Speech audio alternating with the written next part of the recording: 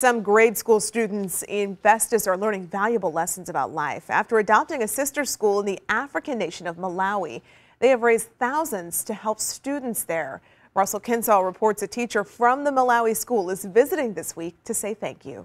Compassion, care, giving, love. Those are just some of the lessons that Teresa Riondo's kindergarten through third grade STEM students have learned. Last year, Festus Elementary School adopted a sister school in a tiny village in the southeastern African nation of Malawi. Students learned of truly third world conditions where children lack clean water, food, clothes, and school supplies. And the Festus students responded. And that's what my kids did. They grasped a hold of it and said, when can we can we bring paper? Can we bring pencils? Can we and we started with one box. Now there are 70 boxes ready to be shipped.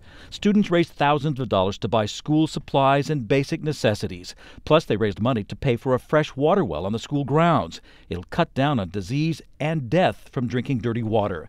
Malawi teacher Timwana Chalinga is in Festus this week to say thank you and tell children how much the supplies have meant. Most kids are able to come to school because of the supplies that we get. Because our school system, when kids cannot afford to get supplies, they're not allowed to stay in school.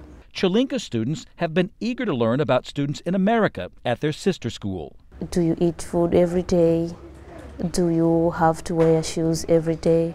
How do you celebrate your Christmas? It's expensive to send boxed supplies to a small village halfway around the world, so the school is now raising money to ship the supplies to Malawi.